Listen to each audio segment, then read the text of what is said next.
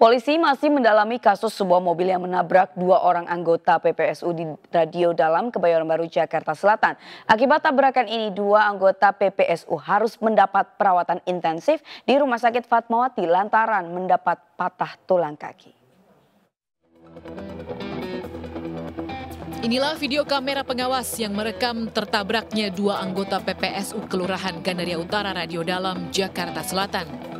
Dalam video ini terlihat jelas dua anggota PPSU terpental ditabrak sebuah mobil yang dikendarai MH. Tak hanya dua korban, motor anggota PPSU juga ringsek ditabrak. Usai menabrak anggota PPSU, mobil yang melaju kencang terhenti akibat menabrak sejumlah tiang reklame. Diduga pengendara mobil itu sedang mengantuk. Menurut saksi sebelum tabrakan terjadi, mobil tersebut melaju dengan kecepatan tinggi, lalu oleng ke kiri dan langsung menabrak dua anggota PPSU. Itu dua orang itu? Patah kakinya. Patah kakinya? Ada yang kesleo, ada yang patah kakinya.